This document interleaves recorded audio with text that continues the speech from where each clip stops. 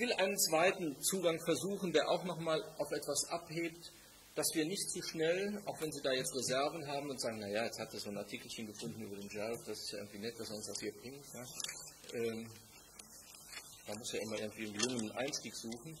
Ich, ich möchte es nochmal mit einer zweiten Sache versuchen, der, der nur am Rand eigentlich mit der Bibel zu tun hat, aber doch auch mit ihr zu tun hat. Ich Thank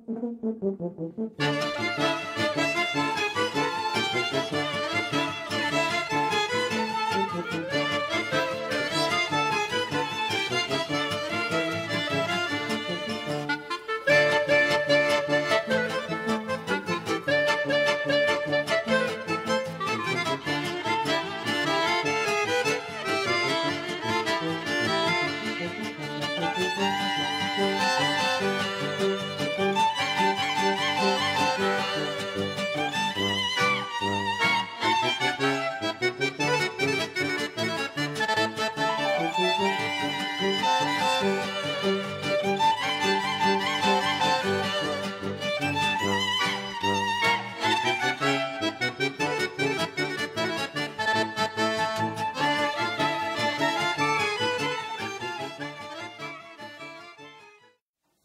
Vielleicht konnten einige von Ihnen die Bilder zuordnen und die Musik. Irgendwie jiddische Musik war das, Kletzner Musik. Musik und Bilder aus einer untergegangenen Welt. Diese Welt gibt es so heute nicht mehr. Das war die Welt des sogenannten jüdischen Städtels.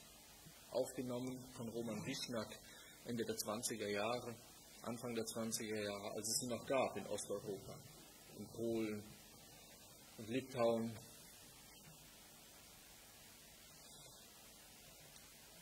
Wir müssen nicht vertiefen, woran diese jüdische Welt untergegangen ist. Was hat das mit uns zu tun? Das wird immer in diese Bibelschule auch hineinspielen, auf diese, dieses Stück unserer Vergangenheit. Aber es hat auch damit zu tun, dass wir diese fremde Welt, diese untergegangene Welt, als eine fremde Welt respektieren müssen. So ist das auch, wenn wir uns der Heiligen Schrift nähern. Deshalb auch nochmal die Vertiefung des Wortes, ich weiß, weil ich nicht denke. Wenn wir, wenn wir an die Bibel herangehen und immer schon wissen, um was es geht, und nicht zunächst in einem ersten, in einem zweiten und in einem dritten Schritt zunächst einmal zur Kenntnis nehmen, dass es ein fremdes Buch ist, dass es eine fremde Kultur ist, eine fremde Sprache, eine fremde Umwelt, alles, mit dem wir heute fast keine Berührungspunkte mehr haben, weil es diese Welt auch so nicht mehr gibt. Dann kommen wir zu Vereinnahmungen und stellen uns selber ein Bein. Man kann das an verschiedenen Dingen sehen. Also etwa auch an der Nehmen Sie aktuelles Beispiel die Integrationsdebatte. Ja? Wenn wir nur auf dem Standpunkt sind, jetzt alle, die hierher kommen, müssen jetzt erstmal alle gute Deutsche werden. Das geht überhaupt nicht. Das geht von den Genen her schon nicht. Ja, ohne jetzt irgendwie einer, einer völkischen Debatte Vorschub leisten zu wollen. Aber es gibt kulturelle Prägungen, die wir nicht wie, wie eine Jacke ausziehen können. Und das ist auch gut so.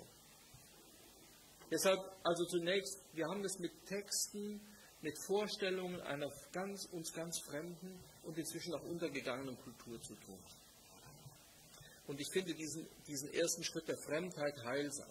Genauso, wenn Sie diese Bilder sehen, ja, die es auch heute in der Realität kaum noch gibt. Also wie hier das letzte Bild, wenn man um die Schriftauslegung will. Die Torah ist aufgeschlagen und es sitzen alle da drumherum und diskutieren um die richtige Auslegung. Das macht man ziemlich laut.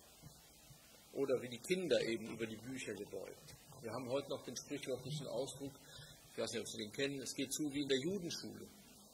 Warum? Es ist immer durcheinander, es ist immer sehr laut, ja, wenn man neben so einer, neben so einer Schule mal war, oben am, am Zionsberg gibt es so eine, ja, das ist, äh, das ist, das ist, äh, das ist ziemlich heftig, ja, da kommt man zu keinem klaren Gedanken, weil die den ganzen Tag die Texte rezitieren. Und das, und das ziemlich schreiend, ja.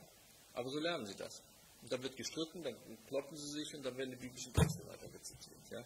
Das, ist, das, ist, das ist so der, Äh, das ist der, der Zustand. Ja. Eine für uns eher von, von unserem Verständnis her auch da immer noch fremde Welt.